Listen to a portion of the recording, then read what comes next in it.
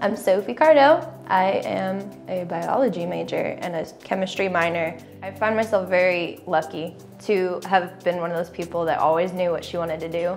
Because um, I know a lot of people really toy with that decision a lot. Uh, but ever since I was seven, I wanted to be a veterinarian. I told my mom all the time, I'm gonna be an animal doctor when I grow up. And my parents were like, okay, sweetie, because I was seven. They were like, there's no way she's gonna stick with what she said when she was seven years old. Jokes on them, because I totally did. and, uh, so yeah, I'm a biology major, even though I love theater and the arts and I'm super creative. I do all kinds of things that are not biology related. I decided to join theater because it was something totally different from anything that I've ever done before.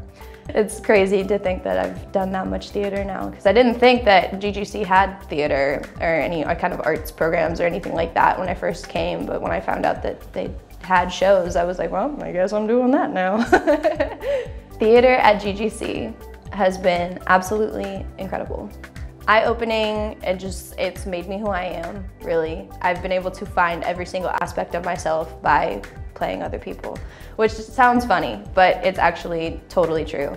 Every single character that I've played has helped me find something about myself that I didn't know before. And um, the direction here is amazing, the people here are amazing. It's just a really fun experience and you get that little theater family. As you move along, you know, you get some of the best friends out of it and just, it's so much fun.